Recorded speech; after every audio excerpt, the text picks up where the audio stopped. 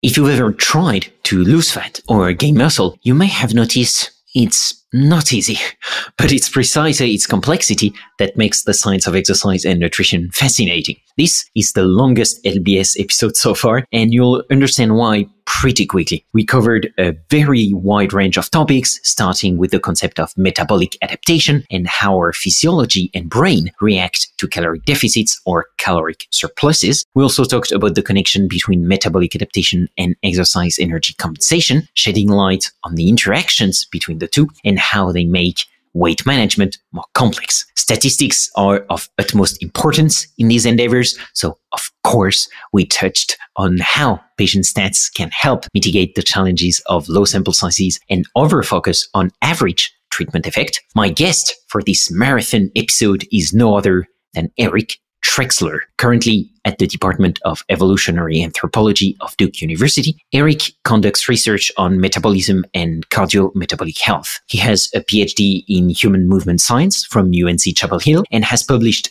dozens of peer-reviewed research papers related to exercise, nutrition, and metabolism. In addition, Eric is a former professional bodybuilder and has been coaching clients with goals related to health, fitness, and athletics since 2009.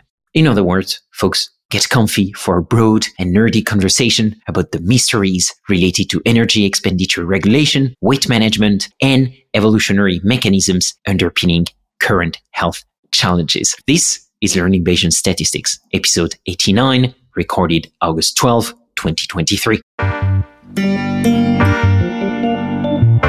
Welcome to Learning Bayesian Statistics, a fortnightly podcast on Bayesian inference, the methods, the projects, and the people who make it possible. I'm your host, Alex Andorra. You can follow me on Twitter at Alex underscore Andorra, like the country. For any info about the podcast, learnbayesstats.com is la place to be. Show notes, becoming a corporate sponsor, supporting LBS on Patreon, unlocking Bayesian merge, everything is in there. That's learnbayesstats.com. If with all that info, a Bayesian model is still resisting you, or if you find my voice especially smooth and want me to come and teach Bayesian stats in your company, then reach out at alex.andorra at pymc-labs.io or book a call with me at learnbayesstats.com. Thanks a lot, folks, and best Bayesian wishes to you all. Let me show you how to be a good Bayesian. Change your predictions after taking information in. And if you're thinking I'll be less than amazing, let's adjust those expectations.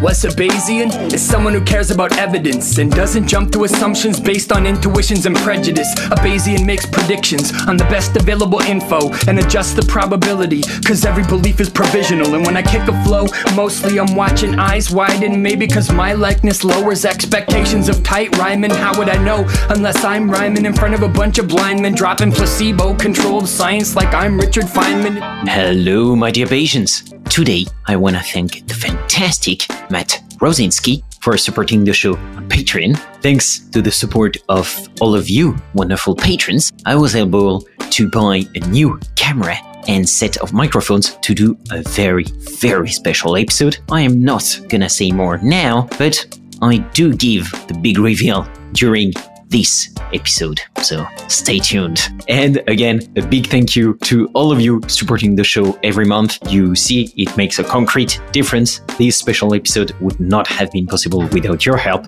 And of course, you will get access to this episode before everybody because, well, you deserve it. And now let's dive into the science of sport and nutrition with Eric Trexler. Eric Trexler, welcome to Learning Bayesian Statistics. Thanks. Yeah, great to be here. Yeah, thank you for taking the time. I am really happy to have you on the show for a lot of reasons. The main one is that you work on really interesting topics, at least at least to me. I've been nerding out on your content for the last few months, and I really love it because it's basically scientific breakdown of the sports and science and sports and nutrition sciences literature. So I am pretty sure that my listeners will at least appreciate the very nerdy sciencey side. This is actually the very first podcast I'm doing about a fitness topic. which I discovered as I dove into the literature is actually a very nerdy topic. So I'm really happy about it. And so I would encourage all of my listeners to uh, actually pay attention to it a bit more if they are not, because it's extremely interesting and it's also good for your health and body. So, you know, several birds with just one stone. So let's start. Lots of questions for you, but as usual, let's start with your origin story, Eric. So yeah, basically, how did you come to to the world of sports and nutrition sciences and what was the the egg and the chicken right? Did, did sport come first or did science come first in your interests? Yeah i mean so like a lot of people in my field the sport came first and then at some point you have to figure out what you're going to do with your life and then the science becomes a little bit more pertinent unless you're going to become a professional athlete which not particularly likely based on the uh, based on the percentages there. So i started out really enjoying sports mostly football baseball and wrestling so those are all in different seasons so it'd keep me busy all year football got me really interested in wanting to get bigger and stronger. And then later I started wrestling and had to do weight manipulation, had to lose weight, stay lean, try to maximize not just total strength, but strength relative to body mass. So I started different types of, you know, strategies to lose body fat while keeping muscle and then, you know, weight, water related strategies kind of adjusting hydration based on when weigh-ins are and you know trying to dehydrate for weigh-ins safely and rehydrate when I needed to really be at my best. So yeah, I just kind of became fascinated with these topics and really tried to be very analytical about what I was doing. Even I mean, I was obsessed with fitness by 12 and by 16 was starting to kind of dig into the nuances of nutrition. And so my career trajectory really kind of took off from there. Yeah, that's extremely early. Is there like, were your parents already into fitness topics like that? Or uh, did you meet someone that was really into that and introduce you? Or was it just you at 12 starting to, to look into all that? Yeah, I mean, it was when I was 12, I just loved sports. It was not something that was really emphasized by my family. My parents were not like fitness enthusiasts by any means. So for me, it was just, I, I, just wanted to be better at football, which I loved. And I was the only person in my family that really cared that much about football. Mm-hmm. When I was wrestling, I, I will say there was a, a, particular coach who was a really avid fitness enthusiast, and we would train together, and he would kind of give me, he was a, a subscriber to Muscle and Fitness magazine. And when he was done with an issue, he'd say, Here you go, you can have this one.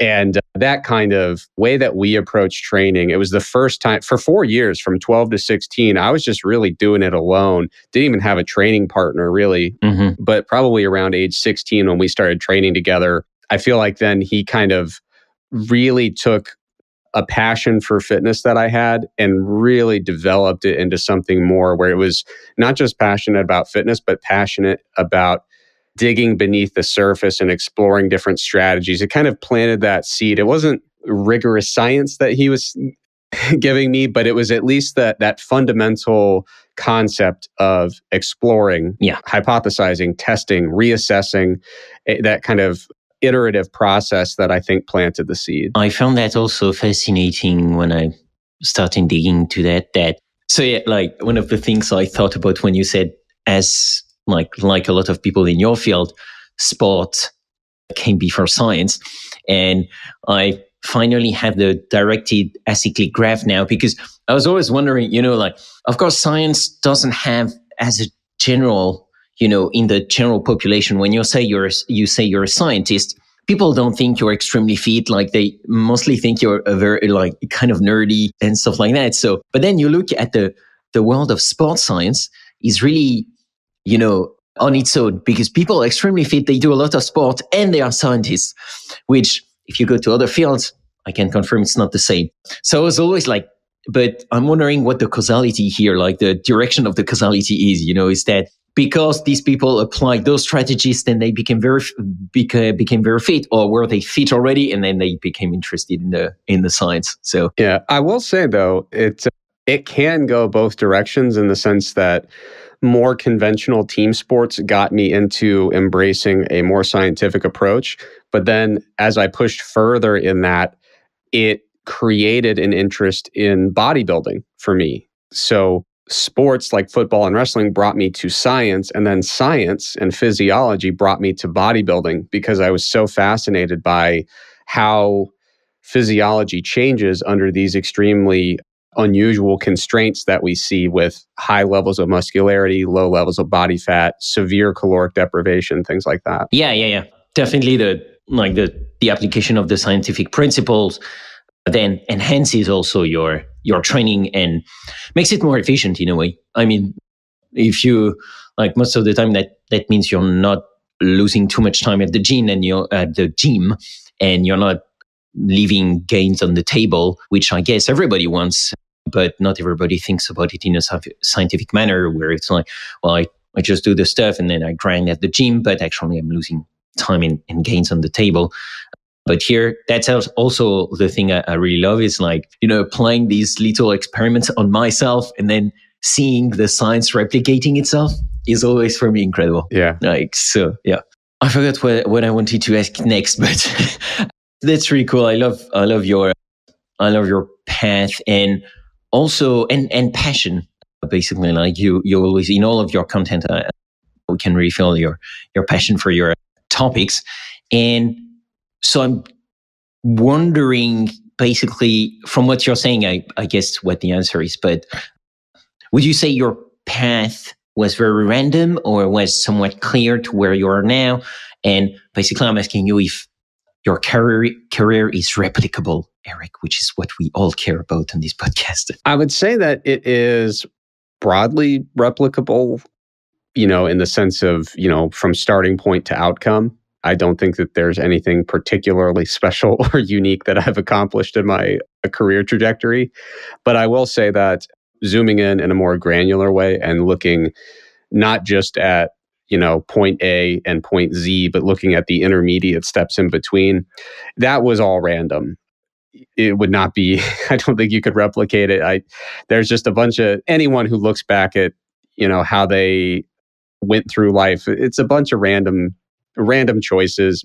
Most of the best mistake, the best decisions that I've made have been decisions that I made for the worst reasons possible, right? And so like I can look back and say, "Wow, what a great decision," and give myself credit for the outcome. Yeah. But I know that the the reasoning for it was completely dissociated from you know why it turned out to be a good decision. So yeah, it's life's weird like that. You know, you you think you know when you're making an important decision, you rarely do when you think something is a really important decision, it usually isn't.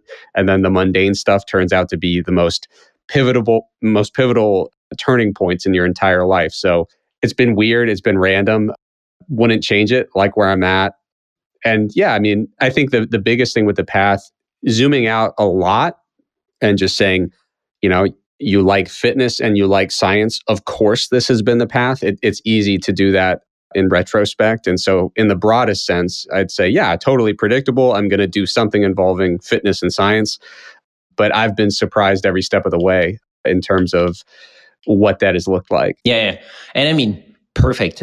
This is a show about uncertainty and randomness and how to estimate it, but also how to embrace it to better live with it. So, you know, that's perfect. We love, we love random path here. And mine is definitely very random. So, uh, you know, I, I definitely can relate to that. So now let's turn a bit to what you're doing today. And basically, first, a general perspective is that now you're part of Herman Pontzer's lab at Duke University. Some listeners may have heard of Herman Pontzer's because he wrote a pretty uh, well-known book called Burn, which I put in the show notes. I haven't read it yet, but it's on my it's on my reading list. I've been introduced to it thanks to your writings, mainly Eric, and especially the metabolic adaptation manual that is in the show notes also. And of course, we're going to talk about metabolic adaptation because it's one of your babies. But first, more generally, can you tell us what you're studying at Duke University? And yeah, what's what's your job nowadays? Yeah, it's really crazy to, like I said, didn't predict exactly where I'd end up professionally. It's crazy because over the last several years, one of one of the things I do is the Mass Research Review. It's every month we review current research in exercise and nutrition. We get pretty nerdy with some of the stats. Depending on your experience level, you know, you might say, wow, this is, you know, pretty thorough. But if you're like a bona fide stats expert, you'd say, okay, this is adequate, you know? But but we, we try to make the the fitness and nutrition information very practical, very applicable. And sometimes, you know, we'll see a meta analysis that everyone's talking about and say, no, we need to recrunch the numbers. And, and we'll actually, you know, we'll do it begrudgingly because it's a lot of work sometimes. But anyway, so in mass, I had been reviewing Herman's work. I re- had reviewed several of his papers in recent years, and I, I just kept saying, man, this guy in this lab is doing some of the most fascinating research that's happening in our fields and it happens to be right down the road from me. Like oh, yeah. i was living yeah i was living like 20 minutes from his lab and had never met him had never talked to him. And i was just like you know this is the most fascinating research, research that i'm seeing in, in the last five years or so.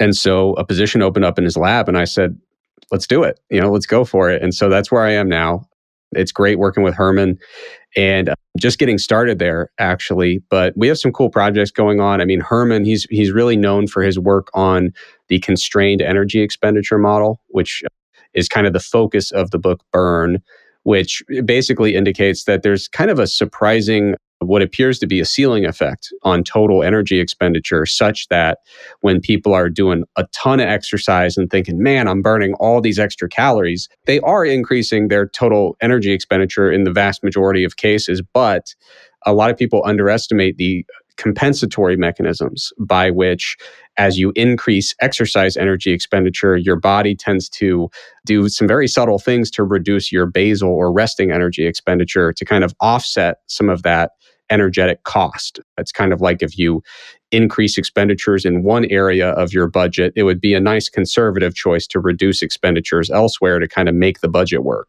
So that's what what we're that's kind of like the main primary focus of the lab is kind of testing out these different constraints on energy expenditure and looking at what's really going on during various models of increased energy costs. So, looking at fairly intense exercise, looking at things like pregnancy, which are very energy intensive, and looking at the combination of the two. So, that's kind of one consistent line of research is looking at those constraints on energy expenditure across many different species. So, we don't, in our lab, we don't only do human research. You know, there's there's some animal research in the mix as well. So that's one thing that's going on. Another thing the area where I'm working currently is mostly in some of the applied ramifications of energy expenditure regulation. So I'm working on a project now where we're looking at folks in a fairly high stress occupation. And we're doing a very comprehensive study to explore a variety of outcomes that are remarkably wide ranging and comprehensive in nature. So, physical activity and energy expenditure are a component of the research, but we're also looking at relationships with stress and diet. And, you know, we're looking at a lot of psychological outcomes on top of our physiological outcomes to see when we look at a total picture of someone in a stressful occupation and we look at their sleep, their physical activity, nutrition, their stress management, how do these affect the broader picture of overall health and wellness. So it's fat. It's, it's really fantastic because I have always loved energy expenditure regulation, but one of the things that I think erroneously talked me out of diving straight into research after my PhD. I've been doing a lot of research in my PhD, took four or five years, did more private, you know, business related things. And now I'm back in the research game. One of the things that kind of dissuaded me from starting my own lab right away was I felt like I was perhaps too much of a generalist to really sink my teeth into a very narrow line of research. I kind of looked at where's where are my passions, what is my training background looking like, how will I make this all work in a cohesive line of research that is narrow and focused enough to make incremental progress in the field and I was really coming up short to be totally candid. And I said, well, if if you can't really, you know, paint that picture, it's probably best to not go and start a lab and and, and kind of try to figure it out at some point along the way. After taking a few years and embracing the idea of being a generalist and having multifaceted interests, I feel totally reinvigorated as a scientist and as a researcher. And this is a perfect project to allow me to integrate all those general generalist things that I've been kind of exploring over the last several years. I've been writing about not just physical activity and energy expenditure, but nutrition and sleep and stress. And to be able to wrap those all up into a big project is tremendously lucky. Again, just totally random, but but really fortunate. Yeah, and uh, so thanks for this this introduction. We're gonna dive in, into into these topics, but uh, yeah, like something I learned also by by reading your your content is how broad basically is the whole the whole field, and uh, it's ju- it's not just looking at exercise basically in training, but it's also about sleep, about nutrition. Something I discovered myself is that nutrition is extremely important and not that much talked about in, in, in the end. Like people really emphasize the training, but if you forget nutrition, it can really, really hinder you or on the contrary, really help you. So that's definitely something I learned, like basically having that holistic approach to the training and not only the, the exercise part for sure. And to relate basically what you said about the constrained energy expenditure model, which I found fascinating also. Basically, it would be for my listeners if, if you folks have worked with, uh, for instance, a multinomial model, that could be like that. Multinomial, you have to use a softmax link function and the softmax makes it a zero sum game in a way. So if one category increases, then one other category has to decrease. I'm not sure the, the constrained energy and expenditure model is exactly a zero sum game in the sense that that would mean you cannot make some games after after some point, which if I understood correctly, it's not really the, the, the case. So you could say, I don't know if it's a one sub game. So you still make gains, but very small because the body basically has all these checks and balances to basically prevent you from starvation, which in a way it's pretty cool. But I found really interesting because now, nowadays, in our current environment, we don't really face that risk a lot, at least in the in our societies. And what basically made us to the one of the things that help us go to the top of the food chain is today something that really prevents us from making the most muscle gains that we could. So I find that kind of ironic. I'm sure Darwin would appreciate it. Yeah, and it's funny that you mentioned Darwin because I, you know, the the department that I'm in now is evolutionary anthropology. So when we explore these topics of innate, inherent physiological constraints, a lot of times we do come back to what is the evolu- evolutionary purpose? You know, in what way would this make sense within an evolutionary framework? And when it comes to regulation of body weight and, you know, by extension, energy balance, you know, body weight and body composition are basically a long term expression of energy balance over time.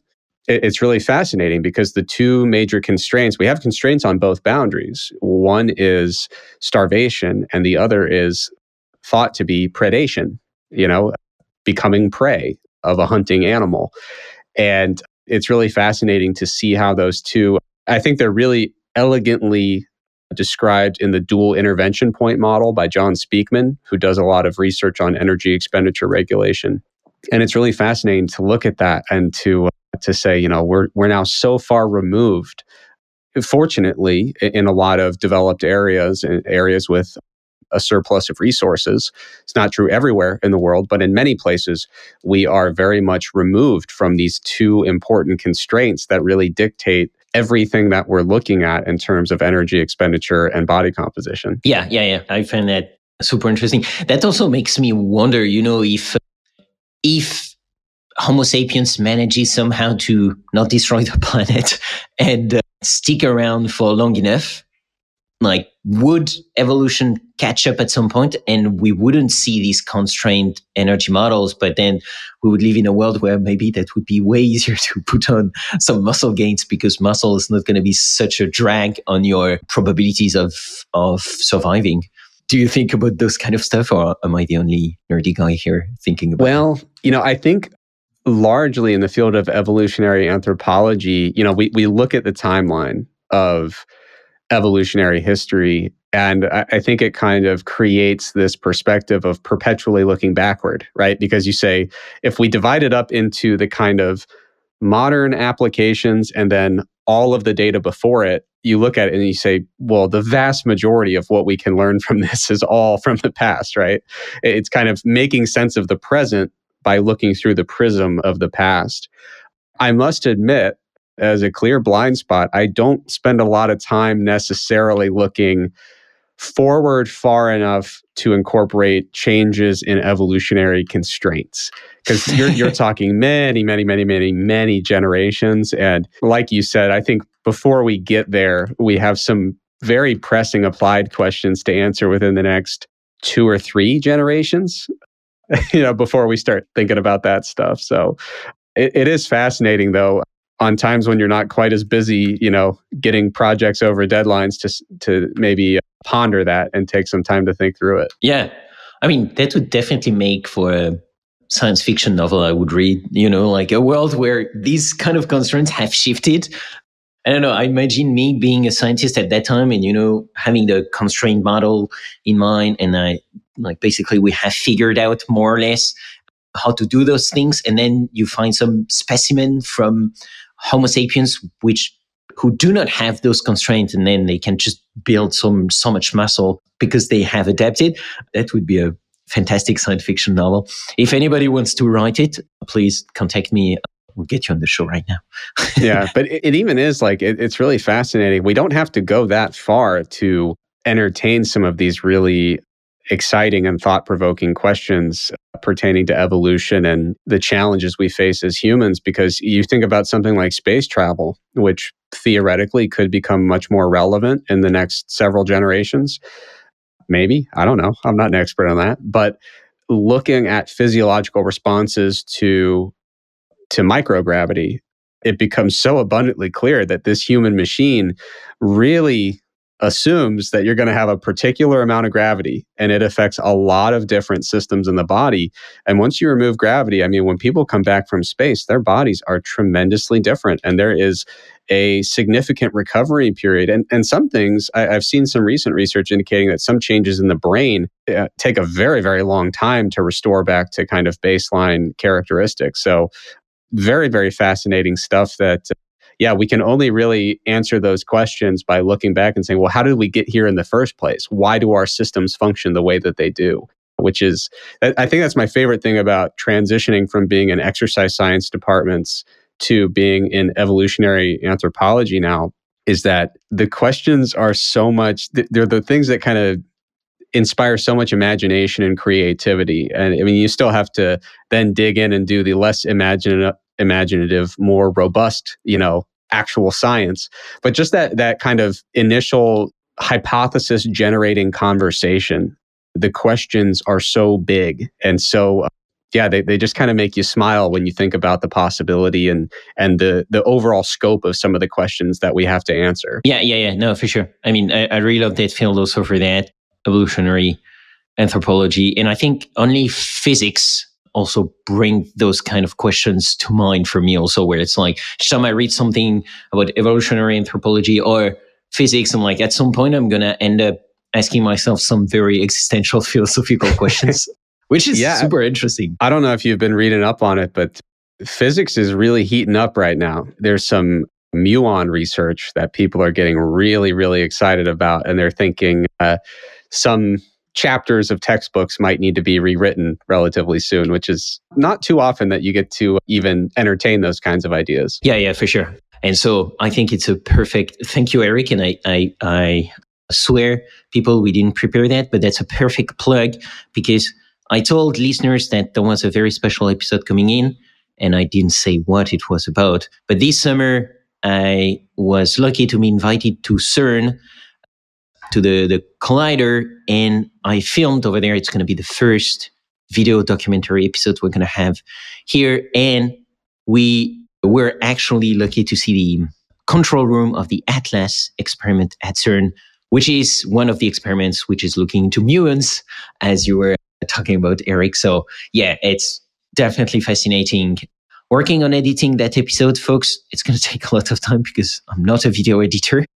So it takes me a lot of time to do it, but It's really fun, and I hope you'll enjoy it. It's going to be a very long episode. I think the longest of the whole podcast, but super fascinating. Thanks a lot for That's awesome. But getting back to the randomness of careers, this for for years I would go on podcasts and I'd be one person in this kind of rotating cycle of like fitness professionals. This year, you know, I've been on two podcasts where one person says, Hey, by the way, next week we've got Noam Chomsky coming on. And I was like, what what do you mean? How did this happen? Why am i on the same podcast as you know like how is how is there any overlap whatsoever? And now you know hey by the way we're we're going to you know show you inside CERN in a few weeks like or a few months. I don't want to rush your video editing but yeah thank you. Yeah just weird just weird. Exciting though. Yeah i mean common denominator here bayesian stats everybody needs them and use them but uh, yeah no thanks for this amazing plug eric that was perfect and let's go back to you now and talk about metabolic adaptation so you We've talked a bit about it now. You've written very ex- extensive guide that, that I'll put in the show notes. So maybe can you tell us a bit about what metabolic adaptation is and why that's important? Absolutely. Yeah. So dieting's hard. If you ask someone who's trying to lose weight and lose body fat, it is really difficult. And there are many, many reasons for that. But one area of research is very interested in kind of unraveling what those specific challenges are and why they arise. So, kind of uncovering some of these things that make dieting a little bit more challenging than we think it ought to be. Because on paper, it's very simple, right? It's, you know, when when there's too much energy, when there's a surplus of energy, you reduce the intake or you increase the expenditure, and there you go. Now you're back in, you've got energy balance where you want it to be. So it should be conceptually quite simple, but in application, it's tremendously challenging. And one of the many challenges relates to metabolic adaptation, which is that when people start to lose weight via caloric restriction, we tend to see that basically their energy expenditure goes down more than we would predict.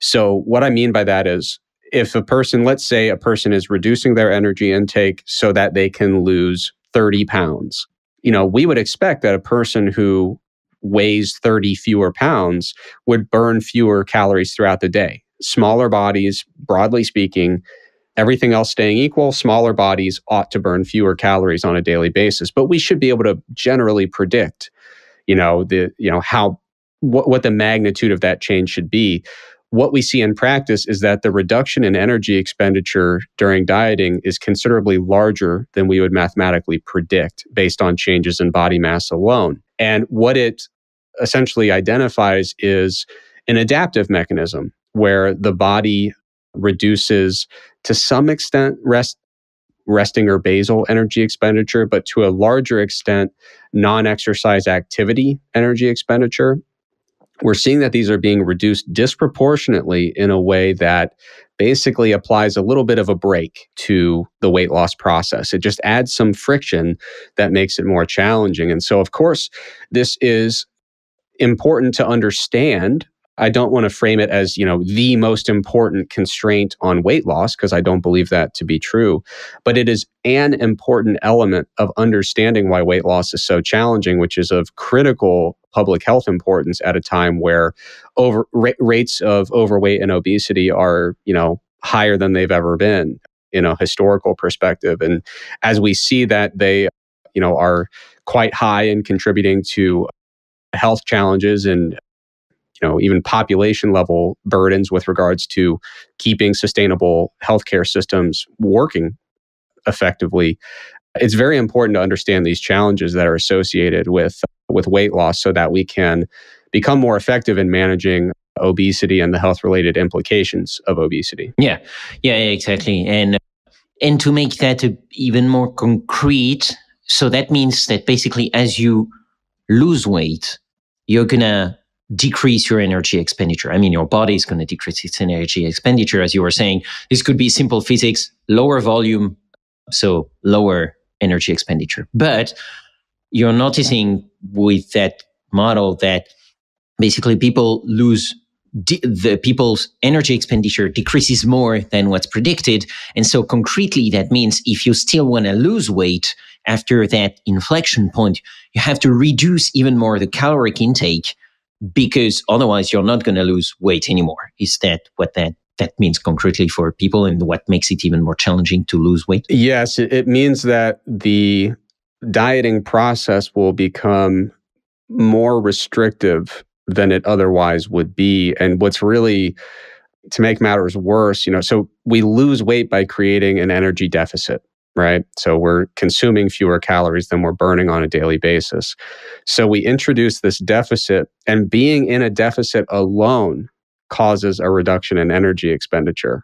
Our body can kind of tell with that short term shortfall of energy intake, oh, let's kind of, you know, slow down some expenditure, power down some processes that aren't totally essential. So being in a deficit causes a reduction in energy expenditure. And let's say that works and now you're losing weight. Now you are a smaller person, which reduces energy expenditure. And then you add on top of those this adaptive reduction in response to decreases in fat mass. And now you have three separate factors that are contributing to this reduction in energy expenditure, which means instead of dieting on perhaps what might feel like a comfortable diet of 1900 calories per day, you're pushing considerably lower than that into caloric ranges that are much lower than you're comfortable with and now your you know ability to get through the day with an, a suitable energy level is threatened. Your your hunger is considerably increased. It, it creates a lot of challenges in that regard. Yeah yeah yeah. And this is really uh, fascinating to to read about also to to live is quite interesting i've been myself on a cut lately, and that has been definitely at some point at the end of the cut was very challenging. These kind of things where you're like, you have days where you like literally think about food all the time, and you're like, you're like like trying to you know optimize the macros and so on, and like trying to find. I was literally food hunting in some of the shops here. I was like trying to find the best foods, like the most protein, the less fat, or the less carbs, which is kind of fun. But yeah, if you do it in a controlled way, that's interesting. But otherwise, that that definitely puts a challenge on on top of already a challenging situation. And what I found also really interesting is that metabolic adaptation, I don't know if you still call it metabolic adaptation in that case, but that also kicks in these mechanisms that make sure your energy expenditure basically doesn't go too low and doesn't go too high these they kick in also if you're in, in a caloric surplus. So if you want to gain weight because you want to put on some muscles, for instance, so that would be the case for athletes or, or for a lot of people in the general population. These these mechanisms also kick in, right? Yeah, yeah. And so when it comes to metabolic adaptation, I'm, I'm glad you you framed the question that way because there is considerable debate or heterogeneity, whichever way you view it, in terms of the terminology you know, some people talk about adaptive thermogenesis, which is specifically the reduction in energy expenditure that we've talked about up to this point. But when I talk about metabolic adaptation, some people use that synonymously with adaptive thermogenesis. It's, it's a very narrow scope of focus that looks just at energy expenditure fluctuations in response to weight loss or conversely, perhaps weight gain when I write about metabolic adaptation, I like to take a more holistic approach. And I talk about not just energy expenditure, but the entire milieu of endocrine and even neuroendocrine changes that affect many body systems. So, with, of course, energy expenditure goes down. That alone, honestly, is not that big of a deal. It's not helpful, but but it, it's not catastrophic by any means. The, the, the larger changes that we see typically are just being in a deficit reduces expenditure and being smaller. So if it were only an, an energy expenditure problem, I don't think it would be so important it matter but but to a lesser degree but with metabolic adaptation the way i like to talk about it holistically we see reductions in sex hormones right as a response of this. I mean, the hypothalamus is coordinating this widespread set of consequences across many different body systems. So, reductions in sex hormones that can impact potentially body composition, potentially the reproductive system. These are things that impact quality of life. And then when we look at the neurophysiological changes related to hunger and appetite regulation, I think those are the most important adaptations that we see during weight loss in terms of just recalibrating our hunger and desire to eat and the types of food choices that we're inclined to make. So you could set, you know, cut those up into individual components and study them all separately, but I don't think it makes sense to do so, which is why when I write about metabolic adaptation, I think a very fair criticism is some people might say, you've gone beyond the scope of metabolic adaptation. And my response would be, you have too narrow a scope for metabolic adaptation because you, you really cannot uncouple these, these things from one another. So yeah, I, I definitely want to acknowledge that uh, metabolic adaptation, the way I view it, not only is it very wide ranging across body systems, but it also does apply, like you were saying, in two directions. So we see adaptations to underfeeding and weight loss, but we also tend to see adaptations to overfeeding and weight gain. So there's fascinating experiments where we bring people in, not I didn't do it, but when scientists bring people in, overfeed them intentionally to a considerable degree and there are tremendous adaptation, adaptive mechanisms that lead to dramatic increases in energy expenditure to maintain a relatively stable body weight. And what we see is that appetite goes through, I mean, just to the floor, just no appetite whatsoever when people are dramatically overfed intentionally. But the really fascinating thing, the unfortunate thing, because I'm sure a lot of people are listening saying, no, your science is wrong, the variation between individuals is immense. And so there, even in these studies that are tightly controlled, we'll see some people defend a body weight quite effectively. Other folks, you know, their body weight just changes quite readily, right? So there are a lot of folks who say, when I overfeed, I don't increase energy expenditure. My appetite doesn't drop. I just gain weight. And so th- that observation is not at odds with the science. It's very much compatible with it. But what we do find is you know, there is a lot of variation in people's adaptive mechanisms in both directions. So there are some folks who, when they do a weight loss diet, they just lose the weight and it goes fine. And other people will look at them and say, How is this possible? Like, you feel like you're from a different planet when you look at the, the difference in responses. And that I think is another reason that it's so important to understand these, you know, metabolic adaptation in general is I think First of all, there's the practical benefit of understanding what it is and what to do about it to facilitate folks who are trying to gain or lose weight to find a healthier body weight range for them. But also, I think it, I think if you interact and engage with this literature seriously, and you do so w- with a very critical eye, you're, you're almost forced to kind of decouple obesity and weight gain from some of these inaccurate and counterproductive assumptions that are really common in healthcare and really common in society. You know, a lot of people will look at obesity or weight gain and inherently mentally connect them to essentially character flaws like gluttony or laziness. And I think if you look at this literature and you do so critically with an open mind, what you tend to see is there are so many factors impacting body weight regulation that are that appear to be innate. You know, th- these interindividual differences are are immense, and what you start to see is as someone who has generally in my life had success gaining and losing body weight very readily when I was younger. I used to assume that there was, you know, oh, I'm so much tougher. I can push through these things that other people can't push through. That's not the case.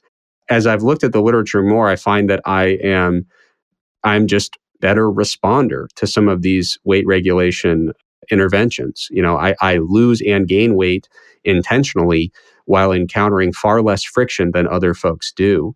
And that was unfortunate. At first, I thought I was really special and just, you know, had this ability to push through things. But I think metabolic adaptation, as we understand these barriers to weight loss that are very inconsistent from one person to another, it helps us look at things like obesity and weight gain and weight management in a much more empathetic way and a much more accurate way. So I think that's really important. Yeah, yeah, for sure. And And you can still be special in the sense that you have a special genetic component. Like you, know, Yeah. you chose your parents well. Well done, Eric. Uh, but so, so many questions. Is there, so what you were talking about basically that there is a huge inter-subject variability. Yeah, I'm not surprised about that. I've, uh, like, it's something I've noticed also in that literature and hopefully we'll have time to talk a bit more about that later on the, in the show from a more statistical point of view, Bayes stats, whispering.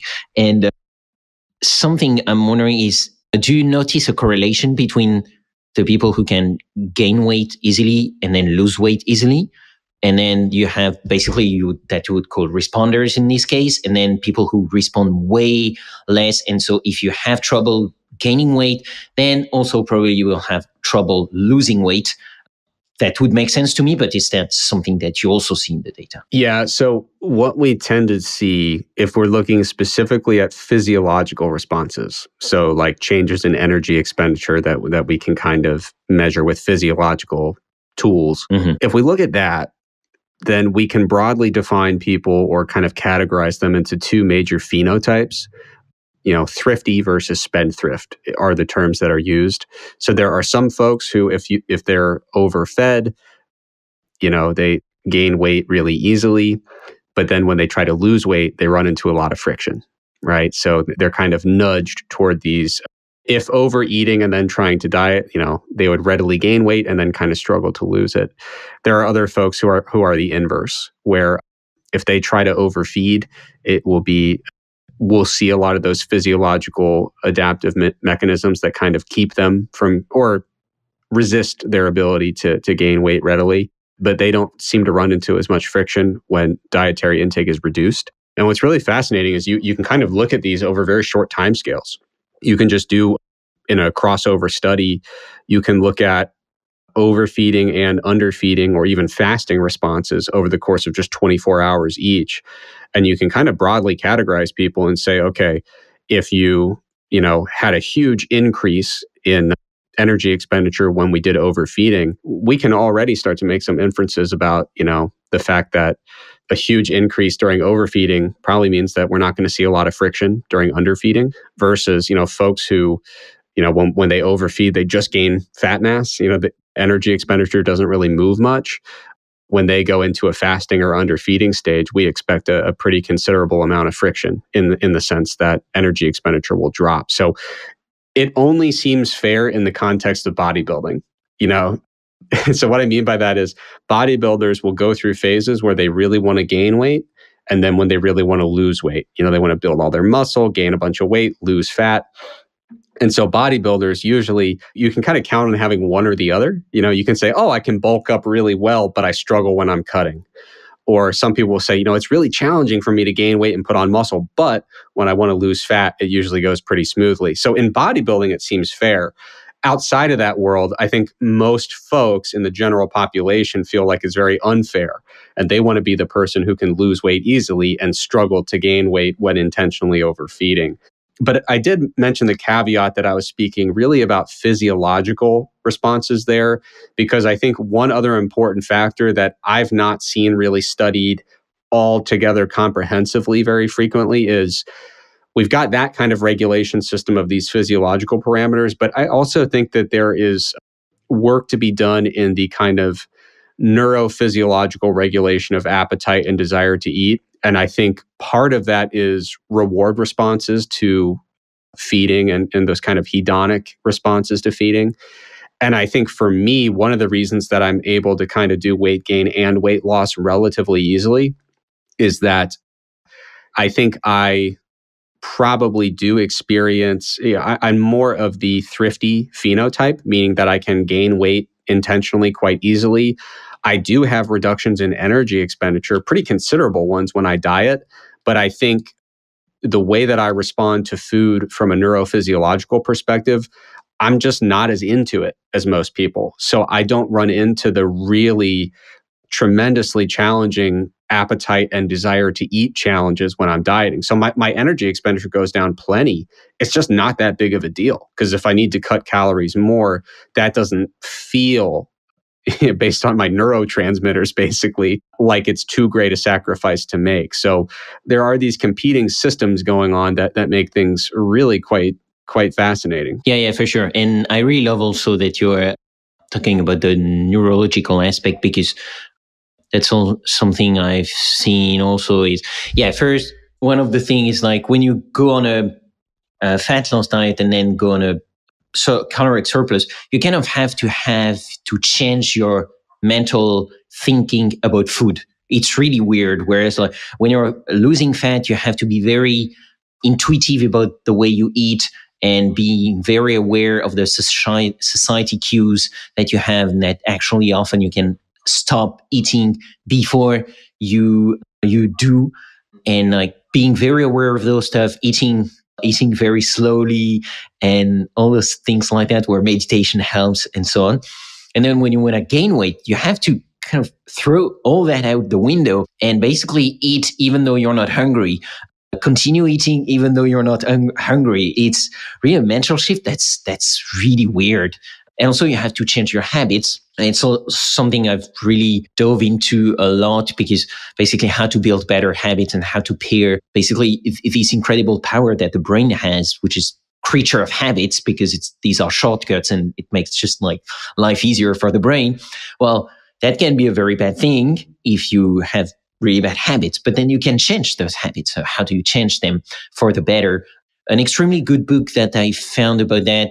I've read a lot of things about that, but some the main one I would recommend for someone who's digging into that would be a, uh, the one from Katy Milkman, How to Change: The Science of Going from Where You Are to Where You Want to Go. This is a really good one. Does a really good breakdown of the current literature and helps you also pair basically what we're talking about with okay, how do I try to develop that into routines that help me. So developing cues, for instance, me, I'm really a coffee nerd and addict. So when I started going to the gym, well, trying to find a coffee shop that's on the way to the gym so that, and not having coffee at home so that I have to get to the coffee shop to, to get the coffee.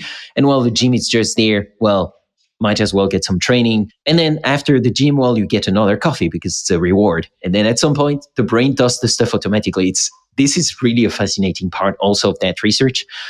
But I think that I think also we're just starting to to explore. Yeah. Yeah. And, and I love the the behavioral components because it having worked with a lot of clients who have weight loss goals, it's so fascinating to see this fine line where an intuitive assumption, right, is that you should make the most minor, tiniest, most feasible changes possible if you want to kind of start reducing energy intake and losing weight. And in many cases, that is true. But in some cases, individuals are so locked into habits and routines that it's almost harder to do the same routines and same kind of things and just make these you know little changes within that. Sometimes it is a lot easier to just completely restructure a day and just to say let's create a completely different series of habits a different schedule a different routine. Let's start from scratch and very intentionally bundle some of those things like you mentioned where it's like okay yeah we're going to create this association, this coupling between gym time and coffee. And I know you want your coffee, so you will get to the gym. And, and I do those same kinds of things right now. Like I, my favorite thing to kind of just, it, it's the least productive thing I do. It's anti productive, but when I really just want to turn my brain off and hang out, I love football. I'll play like a football video game. And my video game system where I play my football game is right in front of my treadmill. If I'm playing it, I'm walking. If I'm walking, I'm doing something positive for my health. So just finding those ways to couple those things. Because I noticed my step count was too low. It's like, well, how do we do? How do we make that work in a way that doesn't feel like a chore? We couple walking with one of our favorite things to do. That when we get a chance, we're going to do it. You know, I find that helpful in the way that it also gets gets us out of the most of the time unhelpful mindset of you know no pain no gain that you have to just grind through. And if you're not, then that means you're weak. Uh, you have a weak character and all those things we were talking about. You were talking about before about weight gain and obesity. And the weirdest thing though, like one of the, I almost, if, if I wasn't going to join Dr. Pontzer's lab, I gave serious consideration to doing another PhD in the social sciences and, you know, health psychology because one of the weirdest things I find working with clients you know, because all the theory goes out the window when you're actually out in the field working with people. For most people, I fully agree. And based on the textbooks, I fully agree. The no pain, no gain thing, forget about that. Let's make things approachable. Let's make them feasible. There is a certain percentage of the population where if they cannot link what they're doing to a, an internal narrative that they are grinding and they are doing the hard stuff. Like there's this entire narrative that makes them excited to do it because it feels like it sucks. And I want to understand better what that is and how we can sort the people with what I would consider a more typical average response, which is let's make it not suck. like that's, I think most people like that. But I, I'm very intrigued by early in my coaching career, I would try to make I would try to fit people into that mold. And I found enough of these people that I said, we have to have at least two molds where some of these people do want to be grinding and they like the fact that it is hard. That's what excites them about it. And sometimes they want to make it seem, to be totally honest, even harder than it is. Yeah. Which is very fascinating to me. this is super interesting. In a way, also, you could, uh, like, I'm sure there are some tactics to make them think they are grinding, even though it's just, you know, a bit more friction, but it's actually no harm. Like it, it makes me think about, do you know about the IKEA effect in this literature, which is where basically the idea is the, for instance, in France, you have these all made, pre-made crepes that you can buy in the supermarket. And when they started selling those, it didn't sell as well as they, as they thought. And then they did all their studies and so on. And they understood that it was because everything was made and then people couldn't mm, basically claim that it was their own crepes that they were doing. And so they just removed the eggs.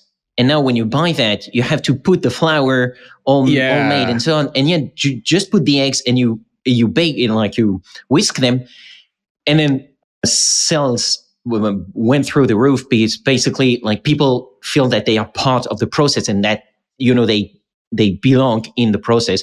And so that's called the ikea effect because like if you go to ikea it's not done. You have to put your own furniture together. And so basically even though it's a really small thing then that makes adherence to the program which is of tremendous importance in sports science much higher. And in the end that makes the program more effective. I never heard it framed as the IKEA effect, but I heard that same kind of story about cake mixes in the United States where they said, "Okay, you got to you got to put the egg in."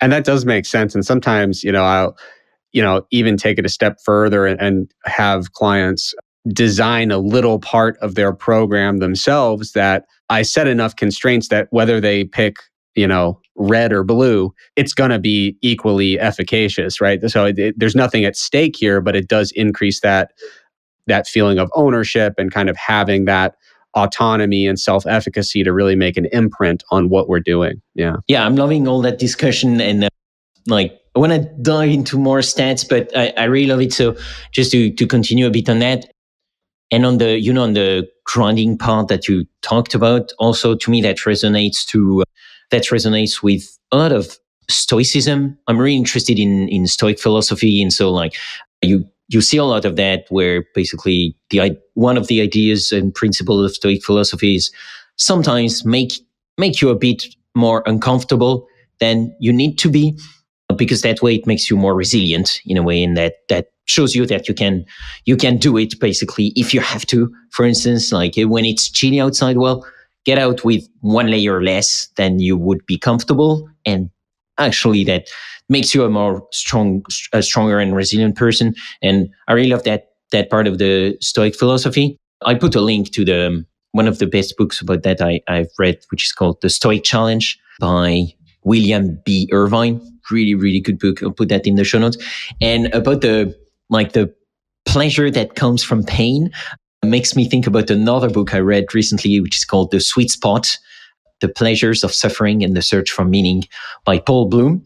And uh, yeah, it's a bit, it's a bit about what you talked about, where basically for some people and for some endeavors, the, the suffering is part of the, of the experience. And if you're not suffering at least a bit, then for some people that is not worth it. Yeah, really, really fascinating.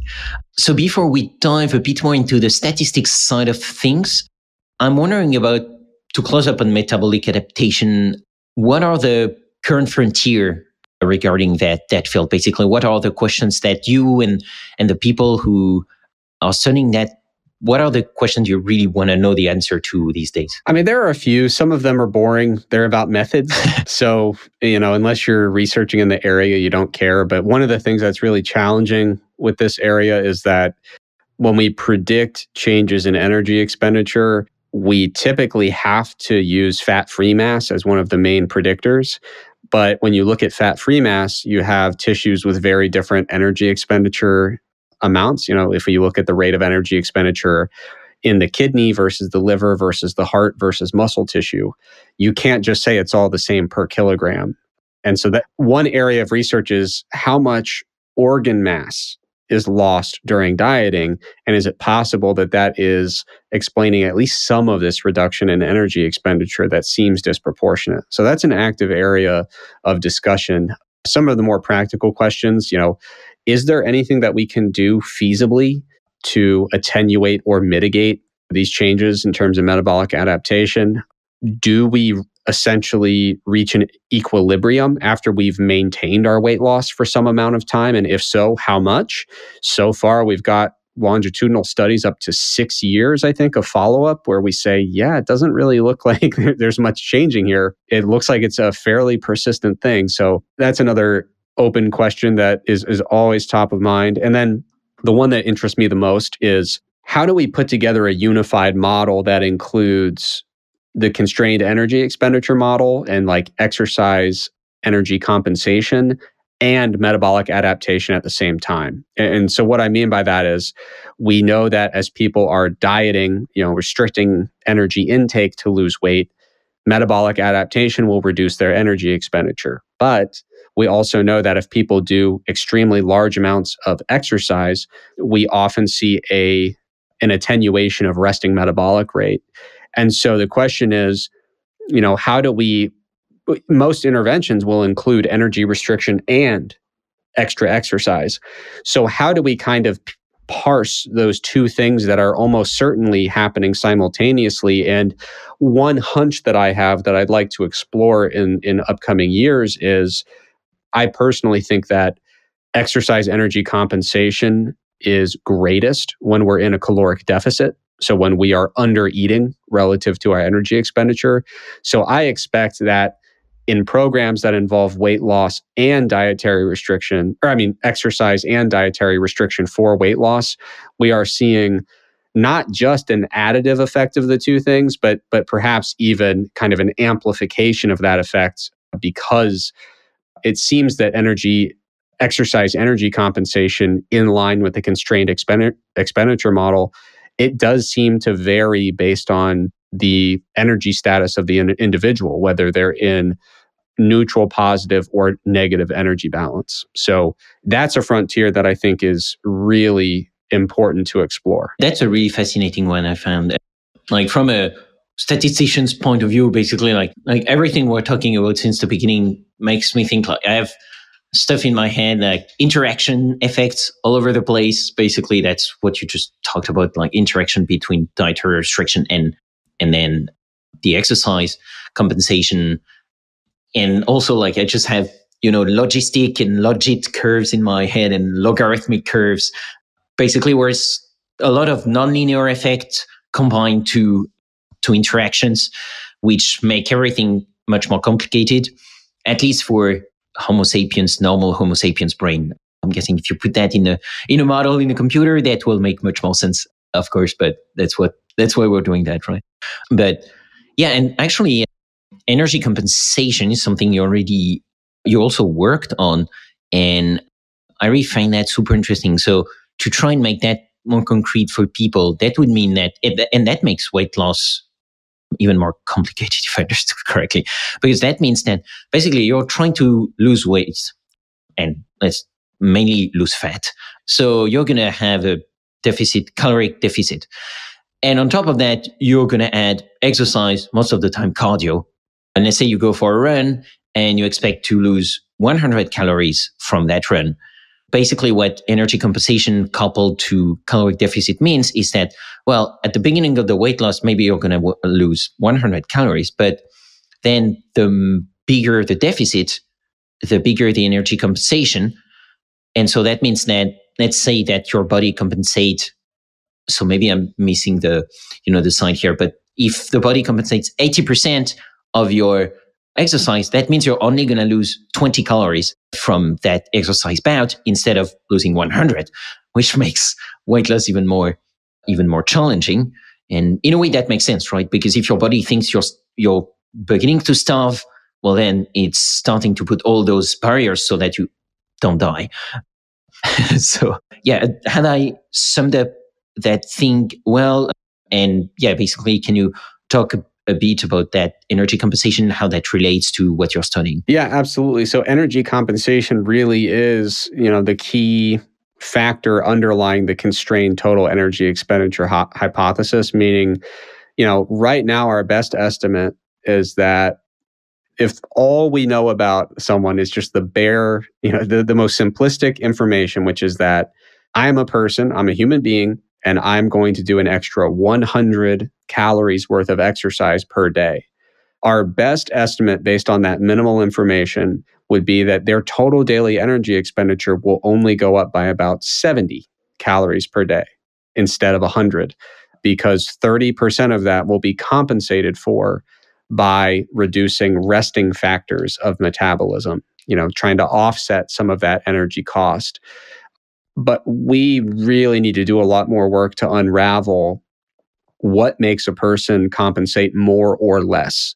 And so, for example, if we look at the energy expenditure of competitive athletes who are intentionally eating a lot to try to replace their calories, we do see that their, that their energy expenditure is considerably higher than a sedentary person who's weight stable. So it's not to say that we cannot change our total daily energy expenditure at all, but there is certainly some degree of compensation that occurs. And, and my suspicion is that it is largely the magnitude of compensation is largely dictated not exclusively but largely by energy intake and i expect that you know, when we're in a situation, I mean, we're seeing, if we look in a vacuum, let's say you're not exercising, you're just reducing calories to lose weight, you're going to get extra friction from metabolic adaptation, right? We, we know that to be true.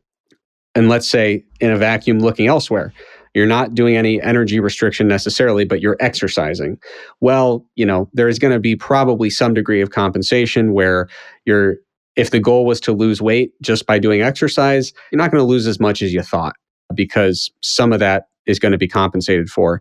Now, when we put those two together, in light of observations that compensation seems to be greatest when energy intake is, you know, when, when there's a caloric deficit or negative energy balance, we don't just see, I would expect, I, I don't expect that we would see a com- just an additive combined effect, I, I, think we might see something that that's more kind of synergistic in, in, a way that that the two kind of amplify each other in the context of a weight loss program involving diet and exercise. So all of that is to say, yeah, when you're doing a holistic weight loss program with diet and exercise, a lot of folks say, why is does this feel so hard? And the answer is there's a lot of friction to be encountered along the way. Yeah, yeah. And also, it makes more sense that these kicks in more in a deficit, caloric deficit than a caloric surplus, right? Because then, if you're in a caloric surplus, why would the body try to compensate for the extra extra bout of exercise that you're that you're doing? Yeah, yeah. The the one exception, though, the one exception that I would say is I mean, of course, from an evolutionary perspective, when we're looking at starvation, starvation as the limiting factor, that all makes sense. And we'd say, yeah, you know, in a caloric deficit, you see a lot of compensation. Otherwise, maybe not so much. But they've done some really fascinating work in athletes who are just spending tremendous amounts of energy on exercise. And I think that over the long term, there are some upper boundary constraints that are limited just by the amount of energy that we can feasibly extract from our diet on a daily basis. So, so I think they were working with like really competitive cyclists doing tremendously arduous races and finding that like you know th- there are some constraints on those absolute upper boundaries but those are constraints that most of us mortals are never going to encounter right? Yeah. Yeah it, feels a bit like you only feel the effects of relativity when you go really fast. Well it it feels a bit like like what you're talking about for these kind of like yeah really really hard endurance athletes. Yeah, I know we're running a bit uh, long here. Are you okay to continue a bit more, or do you have a hard stop? Yeah, Yeah, okay, awesome. Yeah, thanks. Yeah, because I'm having too much fun, so I want to continue. It's always good if it runs long, and and I'm you're right now saving me from getting back into writing, so I'll talk forever. well, uh, I'm happy to do it. So yeah, let's turn a bit more to uh, statistical, the statistical side of things here, because of course you're using statistical models for for all this work to make sense of it. So I'm wondering what are the main modeling challenges that your field is facing. Yeah. You know, when I first got into the field, I was, you know, I was coaching a Special Olympics powerlifting team, and the head coach, he's a dear friend of mine, and he had been doing research for decades before I was born. I mean, he was probably about 70 years old when we met, and he was a statistician. And so he would work with a lot of different fields. I remember expressing frustration to him about the way statistics were approached in my field. And he kind of calmed me down about it. He said, listen, different fields grow up at different rates. And the more mature, mature a field gets, the more rigorous its science gets, the more it starts to embrace more nuanced statistical approaches. And, and people get better at it. And it, it comes down, you know, it starts with the demand for rigor in, you know, the publication process. Then it trickles down into the training that's received for folks that are coming up through the field. And so I think my field right now is at a really cool inflection point in its growth where there are a lot of people who are really lifting the tide for statistical analyses in exercise and sports science. So that's good. I- I'm happy to see that. And and I don't want to be a hypocrite. It's not like I was, you know, a first year master's student and I had this like innate expertise in statistics and said, "Oh, I'll do it all perfectly and everyone else is dumb." I knew that it should be done better, but of course I wasn't capable of doing it. And part of my frustration was I want to get trained in the good stuff and no one seems to know the good stuff around here. You know what I mean? Mhm. Who knows if I would have even picked it up if I was exposed to that training, you know, I'm not I'm not not claiming that expertise before developing it, but yeah, so there are many challenges in our field and they're we're encountering them more as we kind of go through this growth process, to be honest. I think aside from the fact that our field has not prioritized statistic previously, so the training reflects that in a lot of programs, I think that's a big challenge, is just that people are not being exposed to really nuanced, in depth statistical training. And so a field, you know, th- we, we got to start doing more of that training in the master's and PhD programs. But but more to the point of probably what you were getting at, I think we have two main challenges in exercise and sports science. Number one, sample size. You know, I, I think a lot of folks in other fields they think we work with small samples because we're dumb and we don't get it. you know, it's like, why don't you do more? And it's like, well, if you're doing these really, really resource intensive study protocols, you, you'll get it in both directions. If you do exercise protocols that can be feasibly scaled to large samples, people will say that your measurements are so imprecise as to be worthless. And they'll say you can't even make the inferences you're trying to make because you use the cheap measurement that you could actually use, you know, 400, 500 participants in the study. So you get a lot of pushback if you go the route of saying, well, let's do the less intensive measurement protocols that are more affordable and more feasible and get a bigger sample. On the other end, if you want to do the really nuanced measurements, the time cost, the labor cost, the financial cost, it starts to get so remarkably large that the idea of bringing in more than about 22 people starts to become completely infeasible. And so, of course, money would help. Money tends to help a lot of things in the research world.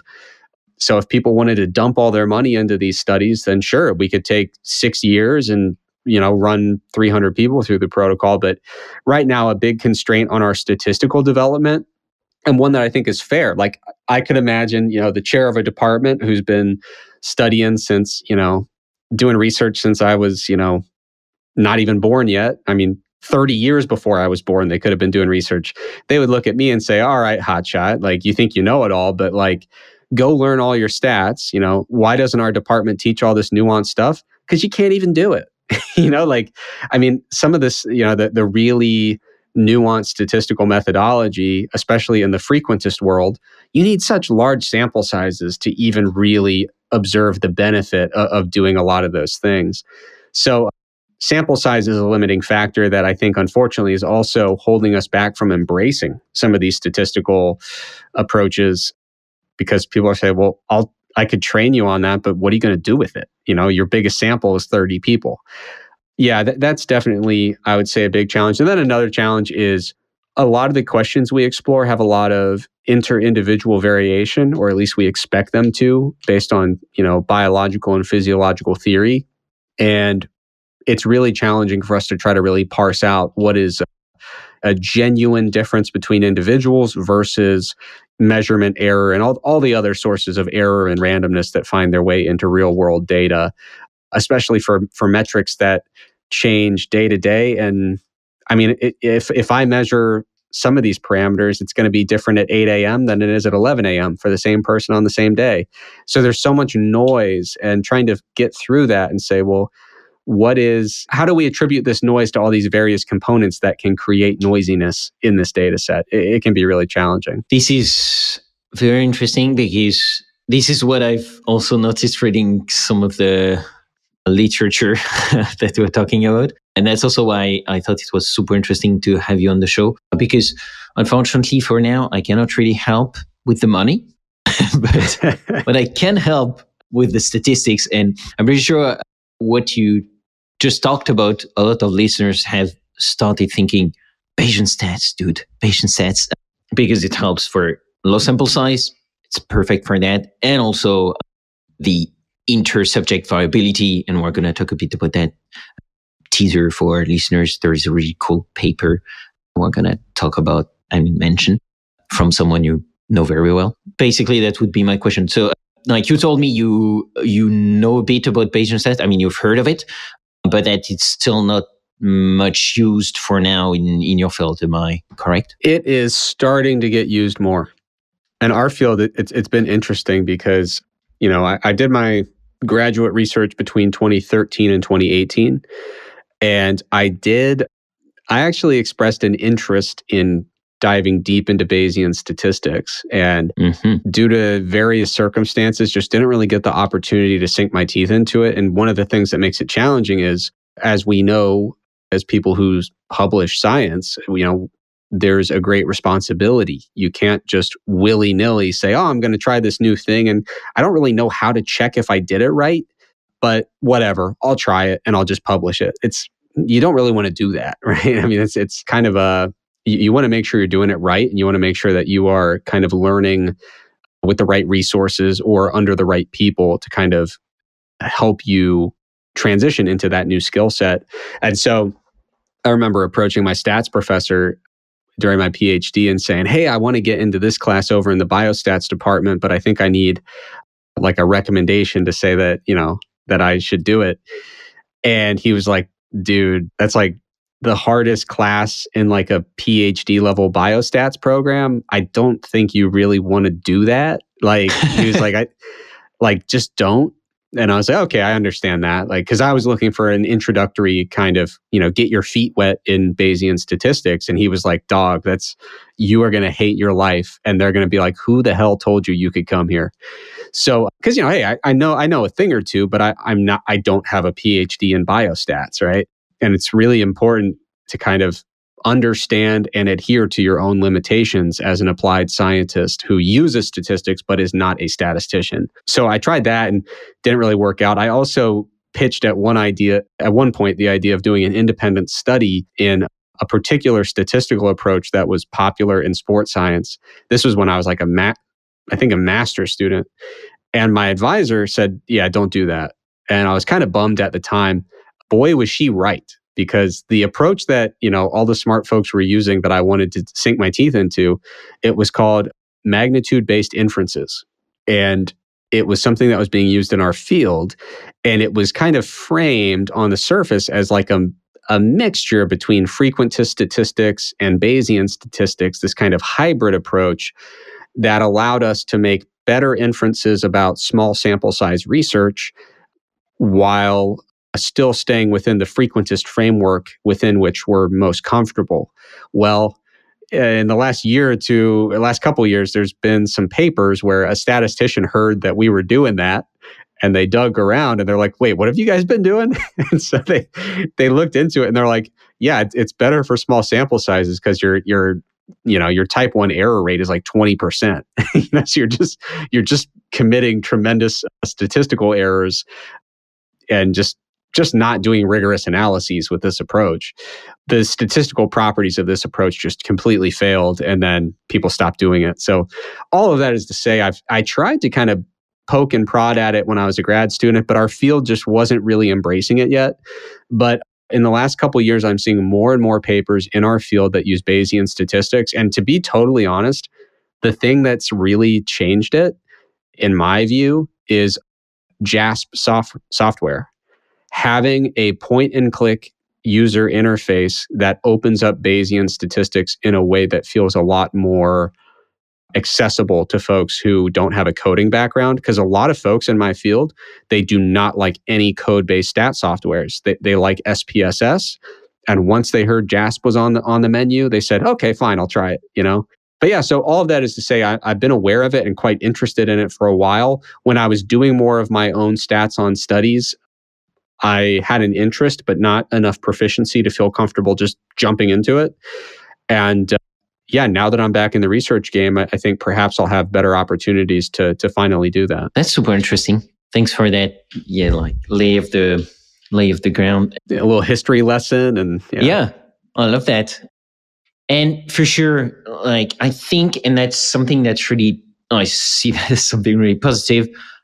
For a long time, the main barrier to using Bayesian stats was not even that. How do you train people? How do you teach them? How do you make that easy to use for them? So, like for instance, with software like like JASP. But how do you compute that? Basically, it was compute power the the main problem because that integral, the denominator is just the devil. So you have to use approximation methods and that was very hard. Now we have extremely powerful computers which can do that in just a few seconds. So that opened a lot of doors basically for people who don't know about these stuff to then use the software that nerdy uh, stat people like us develop to actually use Bayesian stats in, in their analysis. And, and that's really cool because now I think the barrier to entry has shifted from a computer power issue to a basically manpower issue, which, okay, who do I find to be my mentor? Which book should I read? Which video should I look at? Which package should I look, look at? So that's really cool. Like there is a variety of packages to do it in Python, mainly, in, of course, in, in my well, well, PyMC a lot. Bambi is extremely useful because it allows you to do basically PyMC models, but instead of writing completely the model, you use formulae. How, how, is that how you say that? It's used in R a lot. So formula syntax. Yes, formula syntax. In R, I know you use R a lot. So I would recommend looking at BRMS, which is extremely good, very powerful based on Stan, which is state of the art algorithms below that. And we have had Paul Bürkner, the founder, I mean, the main developer of, of the creator of BRMS on the podcast. I will link that in the show notes. And also, since you mentioned JASP, we had EJ Wagenmakers on the podcast, episode 61. For people who want to listen to that, that was a really interesting one because EJ is one of the main uh, person developing and coordinating the development of JASP. And actually, that episode was really interesting because EJ is really versed into psychology research and uh, basically i remember i called i called that episode why we still use non-Bayesian methods. so that's like that's very EJ spirit. So it's it's an interesting listen. I, will link that in the show notes too. So yeah, like to me, that's a really good sign that now this is basically the main the main thing. And so yeah, in the R world, I would say BRMS is is one of the main things to to look at. Also, the the book and video series on YouTube by Richard McElreath called Statistical Rethinking. Extremely good, very pedagogical. And he's actually teaching in Dresden at the Max Planck Institute, so evolutionary anthropology. And there is a lot of examples about that. So uh, that should, that should, uh, yeah, be familiar to you. I send that to you because it's, it's a really extremely good resource. And then to narrow down what Bayesian stats can, can do here. Yeah, I do think that the, the low sample size thing and the, also the, the intersubject vari- variability is tremendously important. And the good thing is that it comes out of the box in the Bayesian framework because, well, you have the priors basically. And on that note, I read recently one of the new papers by Andrew Gelman, which people are familiar with, of course, Jessica Hullman and Lauren Kennedy. I'll post that into the show notes and I sent it to you, Eric, because I found it really interesting because basically the idea, so you know the uh, correlation quartets by Anscombe. So basically a lot of people are familiar with it, like basically the same correlation number can be explained by a lot of different data points patterns. And here, what they do in the paper is that they develop causal quartets where they basically show that the same average treatment effect can be explained by a variety of different causal patterns where you would have completely different data set and data points. But if you just look at the average treatment effect, you would think that these are the same data points in a way. And it's the same experiment, even though it's absolutely not. And it's explained by different causal factors. So I'm aware I'm explaining that on a podcast, but this is very, actually, I can, oh, I, am forgetting, but I can share my screen here now. And uh, here, I'm to do that for people who are watching on YouTube. I'm to share my screen here. And here I have the paper. And at some point in the paper, you have these kind of quartets here, for instance, where these, these plots are basically explaining the same data. You, can you see my screen? It's loading. Okay. So maybe that doesn't work. but I did my but, homework. I looked at the paper, so I know I know what you're referring to. Oh, there it is. I see it now. Oh yeah, there it is. Yeah, yeah. So basically, you, you've you've seen that, right? Like basically, you have four graphs showing different patterns of causal effect, but the four graphs have the same average effect of 0.1. And I don't know, like, yeah, what what did you think about that that paper? Is that something that you think is relevant for your field? Is that something that you've seen also in your field? Well, yeah. I mean, you know, I think one of the one of the big challenges that we have in our field being kind of attached to the frequentist approach to statistics is that we really don't like to mess with the nuances of distributions. You know, we, we like to condense a lot of things down to, you know, average observed effect with a symmetrical confidence interval around it.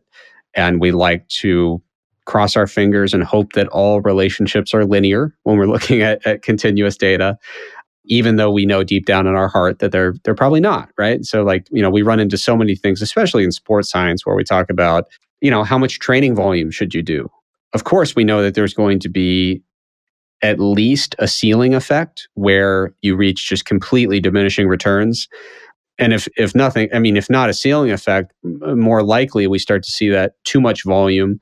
You know for a while it's it's more productive and then eventually becomes counterproductive as you exhaust your ability to actually effectively recover from that training stimulus.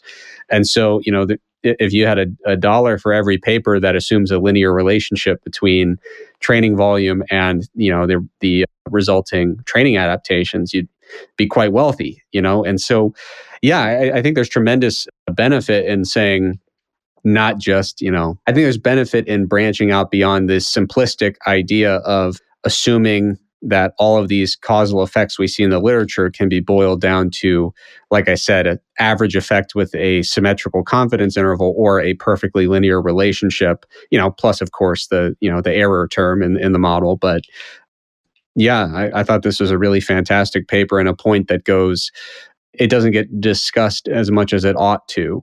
You know, how these different distributions lead to tremendously different applications. You know, because I mean, if you're in exercise and sports science, you're an applied researcher almost by default. You know, there's not not a lot of not a tremendous amount of basic science going on, and so usually the question is, okay, you found this, you answered this question, you addressed this hypothesis. Now, what do we do with it?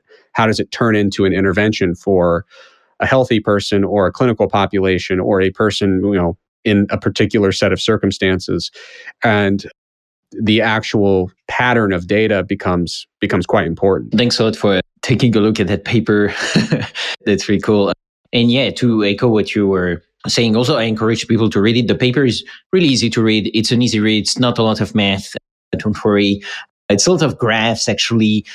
And they even developed an R package called called causal quartets to to dig a bit into that. Honestly, it's a super interesting read and yeah, something to really keep in mind each time you see that kind of paper only talking about causal if average causal effect is, is treatment effects especially in the social sciences as you were as you were saying eric where variability is extremely big between subjects and i mean there is a part in the paper that was it's just extremely funny to me where they call here they talk about like basically citing from the paper they cite a paper who performed two small survey and they found that women were three times as likely to wear red or pink during certain days of their monthly cycle.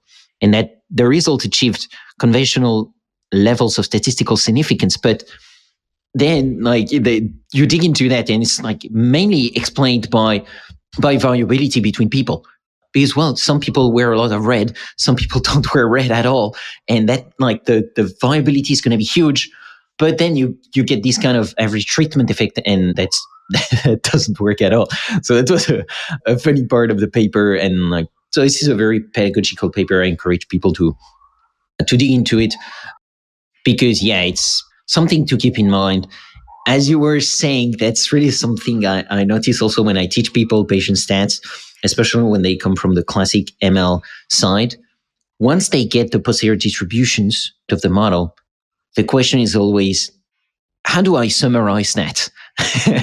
I'm like, no, that breaks my heart always, you know, because I'm like, you've worked so hard to get that posterior distribution. It's not easy to get a whole posterior distribution sometimes. And now that you have that, you want to throw away all that information just to get a, a just a point estimate. That's a bit of a shame. So try basically to throw away information as late as possible, basically, and try to get used to the distributions. I know that ants dimension, I know our brain is not good for more than three dimensions, but basically the idea is not throwing information away, especially when it's hard to come by, and try to throw it away as late as possible. And if you really, really have to. I was smiling. You, you mentioned that uh, the human brain doesn't like to work in more than three dimensions. And I, I over, you know, I, I was uh, scrolling through Twitter and I saw someone who had created a an R package for like power and sample size calculations.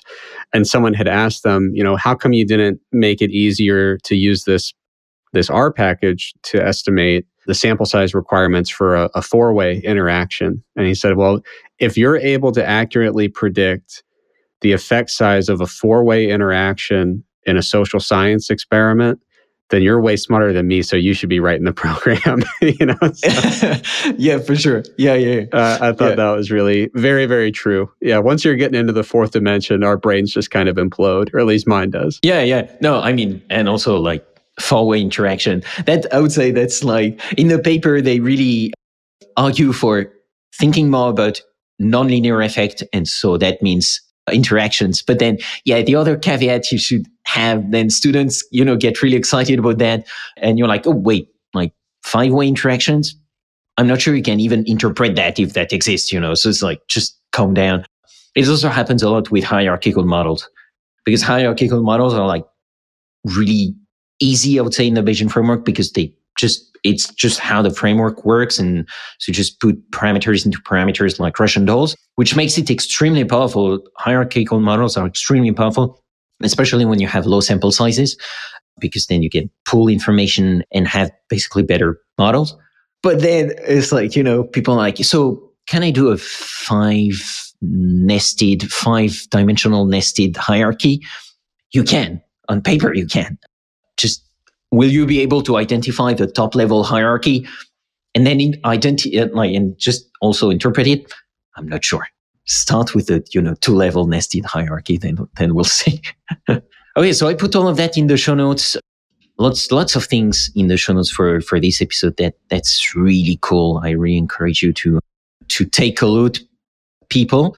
And Eric, I, like you are being extremely generous with your time. I'm going to try to start winding down and close up the show. So maybe, yeah, something I w- would like to ask you is more forward looking. I had two questions about that that I'm to condense into one and then, and then we'll get more practical for, for people to, to end up the show. So looking ahead, basically, I'm curious about what you are mostly excited about in your in your field of sports and nutrition science, and basically like the the question if there is one big question that you'd like the answer to before you die. Yeah, in, in terms of what I'm excited about, the field is growing up. I mean, it, it's crazy because I have been kind of on the periphery of the field, I would say, for four or five years as I finished my PhD, went out, did some, you know, industry work, started some companies and whatnot. Now that I'm getting back into it, it's remarkable. I, am excited because it's grown in the direction I had hoped. And I, most importantly, didn't have to do any of the hard work, which is great. so, I, you know, I was one of those like hypocrites who just said, you guys ought to do this, that, and the other thing. And then I got the hell out of there. And now that I'm coming back, I'm like, oh, great, you did it all. Awesome. Thanks for that now I'm ready to dive back in now that it's, you know, easier to kind of pile on rather than pave the path. But yeah, I mean, I remember it when I was leaving the, not leaving the, when I was taking a little detour, the things I was thinking were, you know, and saying, I was just like, man, we need to do low sample size is a problem, right? Why are we not doing more multi site trials? It's such an intuitive way. I mean, we're all using the same equipment and the same methods. You know, we're all making the same manufacturing companies richer by, by using the same machines. So why don't we pool our, our data in these multi-site trials and then we can actually make much more robust inferences without having to land these grants that are five times more than we're actually feasibly going to get. So I've been seeing more multi-site trials, which is really exciting. I remember thinking, you know, we need to be branching out statistically and specifically doing more Bayesian analysis, but also doing more hierarchical models, you know, kind of adopting that linear mixed model framework. And uh, I've been seeing so much more of that because you know and, and it's perfect for our field you know we had gotten locked into analysis of variance being the kind of the default approach to what we do you know frequentist analysis of variance and i'm seeing so many more linear mixed models and hierarchical models and seeing so much more application of Bayesian statistics. So those are things that excite me. And one thing that I'd really like to see even more of, which we're getting more of, is embracing some of those open science principles in two ways. First of all, I'm seeing more preprints, which is very exciting because I just don't think there's any need for us to wait nine, 12 months for that thing to get into, into print. I really like the preprint approach to, to publication. And one area that I'm not seeing quite as much of, but it is happening more, is open data, completely open data files, not not the sentence at the end that says if you beg me i will send it and then they never respond to emails but open data i think is huge for our field because we're so interested in inter-individual variation a, a really fantastic way to get at that is by doing ideally, if we could do more participant level meta analyses, we'd be in really good shape to address some of those things. But you can't do participant level meta analyses. It's, it's very infeasible to do until you get a little bit more buy in with open data sets. So th- that's what I'm excited about. And then in terms of questions I want to answer, um, I have to be honest, like I, I still am a bit of a generalist at heart. And my overall focus is to make sure that we are empowering people to take control of their cardiometabolic health if they wish, right? So I'm not into telling anyone what they should or ought to do, but for someone who says, "Hey, I want to feel better every day or change my body weight in the following way," I want to empower people to be able to do that in an informed way where they feel like they have a great deal of autonomy and self-efficacy. And to make that work, we need effective interventions. And as I look around, I, I really don't think that we need any paradigm shifting basic science to occur in order to make that happen. I, I think what we have now in terms of understanding energy balance is pretty robust. I think the biggest things that would even come close to being like game changers would be just the fact that we now have a better understanding of metabolic adaptation, energy, you know, exercise energy compensation, and now seeing this new wave of effective obesity drugs on the market. I mean, now that we're seeing how these, you know, these different areas interrelate, I don't I'm not sitting around waiting for a huge paradigm shift like like we're going to potentially see in physics, right? Where we say, "Oh, now we need to rewrite all the textbooks." I think really what I'd like to see is more of the just boring everyday science where we make in- incremental progress towards seeing how some of these pieces fit together. You know, I think seeing things related to health psychology, behavior change, appetite regulation, energy expenditure regulation, exercise adherence. I think those are the final pieces where we just need a little bit more of that regular old fashioned boring science of incremental progress where we start to put some of these things together. And what I'd love to see is a holistic approach where we're focusing on behavior change, psychology, sleep, energy intake, you know, diet and exercise factors. And frankly, right now, I'm really optimistic about using those in conjunction with some of these new pharmacological interventions for weight reduction. And what I'd love to see is if perhaps we can get to a point with these non pharmacological interventions that they are all introduced at the beginning. And we have the aid of that pharmacological intervention to kind of do a lot of the, the heavy lifting at the beginning but then eventually offer an off ramp where a person can say, yeah, I need to do maybe a six or 12 month stint of this pharmacological intervention, then get off of it and use these behavioral approaches moving forward to maintain that progress. Whether or not we can do that, I think I think we got to get better. I, I think we need to uh, to really bolster some of the interventions that we're currently doing. But I, I do see that as potentially something that isn't isn't implausible in the near future. Thanks for that optimistic note. And I do agree.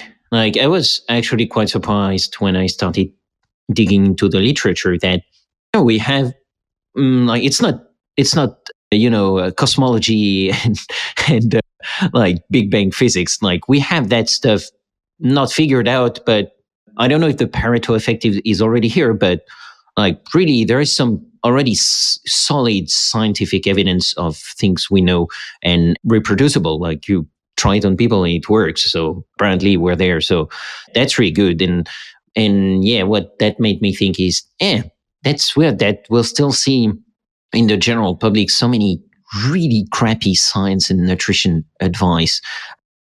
And basically, it's now, it seems to me to be at a point where it's more a question of okay how do we package the science that we actually have and the knowledge that we actually have and like allow it to percolate into the general into the general audience and it's it's more this than really paradigm shifting things that apparently we need right now yeah, yeah.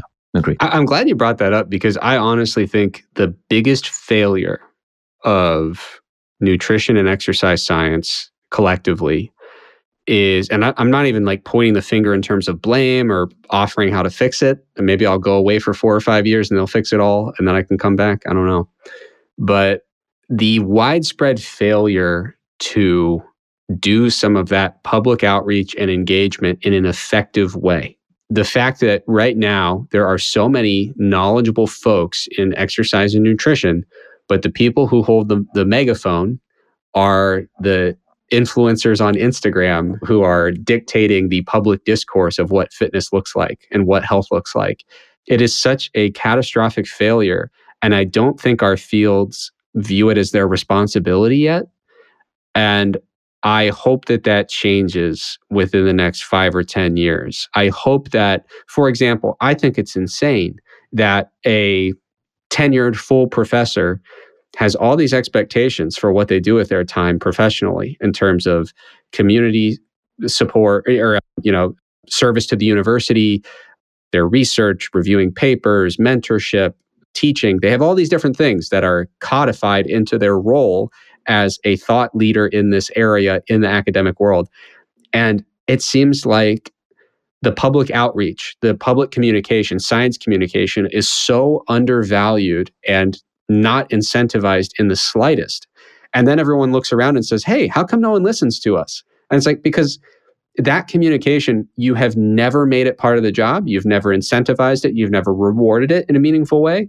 And now you're wondering why you don't dominate the headlines and, and lead the discourse. And it's because there's no reason for that to be the case. And there are people who are spending all of their day just on the communication and they will out influence you every single day of the week if there's no meaningful attempt of these fields to actually lead that outreach. So I- am glad that you brought that up because that is a huge failure. Yeah, yeah. I mean, I completely agree. That's what I that's what I saw.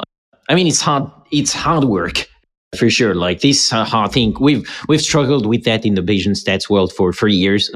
I think we're getting way better now. Surely, almost entirely due to this podcast. I think we can we can we can acknowledge it. no, but joking aside, yeah, it's hard work, but it needs to be done because, like, yeah, I've seen the same content you're you're seeing, of course, and I'm like, each time I see that, I'm like, this is a shame because, well, apart from the fact that I still don't understand why people believe what celebrities say just because they are celebrities. You know, I, I don't know why you would believe a celebrity because they are doing some workout or some diet, even though, you know, they are not, they like, they have no knowledge in it. But okay, that aside, it makes me sad always a bit, but I'm like, oh, but we know about that. Like we, like science knows about that. This, this false and there is a better way to do it. So that would be better for people who are listening to that person to actually do something that works for them and not spend their hard earned money on something that we know is not going to work. And yeah, so there is definitely a lot of work to do on that. Incentives, extremely important for sure. And I mean, that's also related to something you mentioned before that also is very important on these podcasts. Not only because myself, I am an open source developer, but like I know a lot of listeners are open source developers and are the, the people building these open software. And so, of course, open data for us is extremely important. And I think it's changing a bit. I see more and more, you know, academics doing open data and even developing packages, open source packages, thanks to R and Python mainly, which are picked up. And then it's so common in those languages to have an open source package somewhere that, yeah, it starts to become a custom.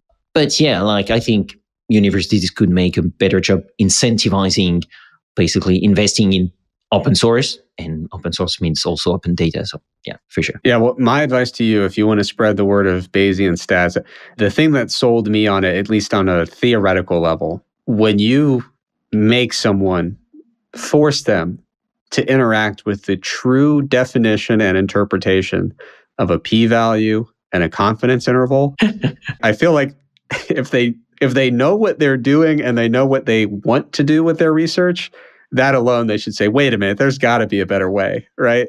And, I, I do think Bayesian offers, I mean, just a dramatically more intuitive interpretation when it comes to the final output. That's completely true. Even though, in my experience, the best way to introduce people to Bayesian stats is when Bayesian stats solves one of their problems. Like they have spent often in like, you know, doctoral student spent hours on frequency software and it doesn't work. And then they switch and use, I don't know, BRMS or Bambi and then just one line of formula and that works. That's the best way. That's the best Trojan horse. Yeah. so to close up, before I ask you the, the last two questions, we've talked a bit about that already. And I think it's something I wanted to cover also because I know personally a lot of people, because we're not in the same circle. So I'm guessing a lot of people you know are really already into into exercise and things like that. But in my world, not necessarily. And something I often encounter is well, a lot of people who tell me that they would like to take better care of their health and their body, but basically they are a bit overwhelmed and they are intimidated by the amount of discipline it requires, at least it seems to them. Things like counting your calories, weighing yourself consistently, all those things. So I wanted to close up the show by being practical and basically uh, ask you what you would recommend to help get those people on a healthier path. Yeah, I would say, you know, if you're just getting started, I'm going to give two pieces of, of advice that seem contradictory, but they're actually complementary. So, first, you want to choose the strategies or the interventions that kind of feel at the starting point to be most feasible or most accessible to you, or I guess most enjoyable, even, right? So, you might be someone who says, I, you know, I want to lose some weight, but I don't want to count my calories. Then don't, you know, let's just change the types of foods that you're eating and do some basic portion control. And you can go very very i when i won my professional status in bodybuilding i did not count my calories during my contest preparation. No. So yeah you, you don't have to. If you know generally what you're eating then you kind of have a sense of how many calories you're eating. Hmm. and even if you did calculate it down to the single calorie guess what? You're wrong right? I mean, the, the food labels are not that accurate. There's variability in, in the energy content of food. So, anyway, a bit of a tangent, but choose the strategies that feel like they're going to be the most accessible, most enjoyable, most feasible, and build on that, right? So, same thing. If you don't want to change your diet at all, but you kind of enjoy doing some physical activities, go play basketball more. Boom! You, now you you've taken that first step, and once you know you're doing more basketball, you're getting in better shape. Then maybe then that progress starts to fuel additional motivation to chip into some of those things that used to seem like they were too much but now you're like you know I've I've already come so far I'd really like to see what we can do here and kind of take this up a notch. The other thing is number 2 here is that you want to start with goals that are hard enough to care about but easy enough to build some degree of self-efficacy you know you want to get your confidence rolling as you go so like i said you want you want to choose things that are feasible enjoyable realistic but if they're too easy and they're too feasible you're not actually going to feel like you're doing anything and that can actually be a bit of a dead end because the fact that we are making positive improvements and making changes to make ourselves better, that alone becomes a source of motivation. What they find in the goal setting literature is that if a goal is too hard, you're going to fail. Your self efficacy will plummet. You will start to believe, I actually cannot do this. But if you set a goal that's too easy, you do it, but you're like, am I? It's like playing basketball against a four year old. And it's like, yeah, I won, but do I really feel good? Uh, of course I won, right? It does, it's not enough to get you excited and make you feel like you're actually making some improvements to feel really happy about and, and enthusiastic about. So that would be my recommendation. Yeah, love it. Thanks a lot. Uh, thanks a lot, Eric. And no the offense to four year olds. I'm sure many of you are good at basketball. if four year olds listen to this podcast, please message me. We'll get you on the show. I, I want that on the a, show. A prodigy out there. Oh, yeah. Oh, my God. And uh, yeah, the first point made me think we have that saying in French, which is l'appétit vient en mangeant, which means I don't think it's true for hunger actually, but it means hunger comes as you eat so yeah, like your first option, like it's basically yeah, try something first, and then you'll see that if you like it, you'll naturally get nerdier about it. I would say. Yeah. Awesome, Eric. I think we're breaking a record of the longest episode here. So I am not surprised it's with you because I know you uh, have a, a history of very long, very long recordings behind you. So, you know, is there any topic I didn't ask you about and that you'd like to mention? It's a me problem. I go on and on. So almost every podcast I go on, they say, wow, this is our longest one ever. So sorry about that, folks. But yeah, we, we've covered everything that the audience can handle, I'm sure. Awesome. Yeah. Before closing up the show, I'm going to ask you the last two questions I ask every guest at the end of the show, because as I always say, it's not the point estimate that counts, it's the distribution of answers. So, first one, if you had unlimited time and resources, which problem would you try to solve? Yeah, so I don't think that I'm personally equipped to solve really any of the pressing problems in the world, but you did give me unlimited time and unlimited resources. So I would just assemble a team to do it with all my time and resources. I wouldn't tell them about how much time they had. I'd put a fake sense of urgency, but I would get together the best and the brightest and try to figure out a really powerful solution in terms of generating clean energy for the world. Generating that energy and distributing that energy effectively. I think my when I pretend to know more about my specific area of expertise, which is always a bad idea, every time I look at the world's problems, for a large percentage of them, I see them as energy problems. And I think if we could find, you know, a tremendous solution to meeting the energy demands of the world in a way that is not detrimental to the environment and can be distributed effectively, I, I think we'd live in a much better world. So I would do like my own version of the Manhattan Project, but it would be for clean energy. And I'd get the best and brightest together and pay them whatever they need. I love it. And I think we're back to physics then. Yeah. yeah. What I understood, like fusion, nuclear fusion, maybe maybe one of our closest contender in this. So yeah. And second question: If you could have dinner with any great scientific mind, dead, alive, or fictional, who would it be? It would be Leonardo da Vinci. Mm-hmm. I don't know if that's too cliche. Have you gotten that one before? Yes, but not that often. Okay. Yeah. So the reason for that, I was going on a date with someone many years ago and I wanted to seem smart and cultured. So we went to an art museum. It's always a good choice. Good little conversation starters along the way. It's great. Good date idea. The exhibit that they had was actually like you know they had the normal stuff that's always out but they had a special exhibit where they had some of da vinci's notes on display oh nice and it was fascinating mm-hmm. and i was looking at these notes and reading the summaries of what they were because i'm pretty sure they were in backwards cursive italian if memory serves with all sorts of shorthand scribbles and it, it was chaotic and the notes were just absolutely they some of them were brilliant some of them were just absolutely insane. And if you look at some of his ideas you look at some of his inventions look at his multifaceted interests what more could you want from a dinner guest? Just fascinating a little bit insane can talk about any topic. Yeah that would be a wild time. Yeah i know for sure. And such a life also. Incredible each time. Also a, a big fan. I'm i'm a big fan of Italian culture and, and the country also in itself. So I often go there.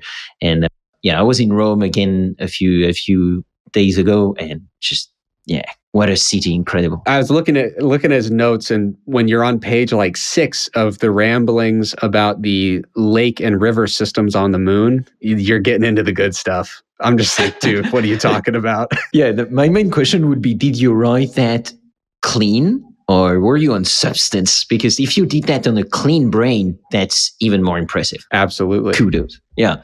And yeah, so if anybody is happens to be in France, in actually my region where I was born, which is called the Loire Valley, uh, Loire Valley, you have one castle, which is the castle of Amboise. And really next to that castle, you have a not that small mansion, which is Leonardo da Vinci's last house. He died there. He spent the, his last few years at the court of Francois Ier. And yeah, like this is called the Clos Lucé. So if you have the opportunity to visit that, that's really incredible. First, the, the domain is beautiful. He had his own vines. So he was making his own wine and you've got some of the replicas of some of his inventions and you've got some notes also his bedroom and so on. that that's really a beautiful place to visit so i encourage anybody to go there if they have the opportunity. Uh, well eric i think now we can call it a show. Thank you so much for for your time. That was absolutely fascinating. Learned a lot of course and and motivated to uh, still learn a lot about all this as usual, I will put a, a link to, well, all your website, socials, and so on for people who want to get in touch with you, and also a lot of show notes for those of you who want to dig deeper. Thanks a lot, Eric, for taking the time and being on this show. Thank you so much. I had a great time. This has been another episode of Learning Bayesian Statistics. Be sure to rate, review, and subscribe to the show on your favorite podcatcher or on Podchaser, and visit learnbayesstats.com for more resources based on today's topics, as well as access to more episodes that will help you reach true Bayesian state of mind. That's learnbayesstats.com. Our theme music is Good Bayesian by Baba Brinkman with MC Lars and Mega Ran. Check out his awesome work at bababrinkman.com. I'm your host, Alex Andorra. You can follow me on Twitter at Alex underscore Andorra, like the country.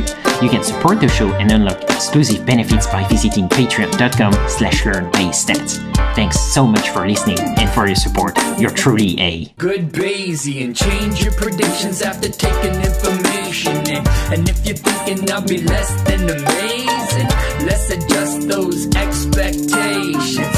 Let me show you how to be a good Bayesian. Change calculations after taking fresh data in. Those predictions that your brain is making. Let's get them on a solid foundation.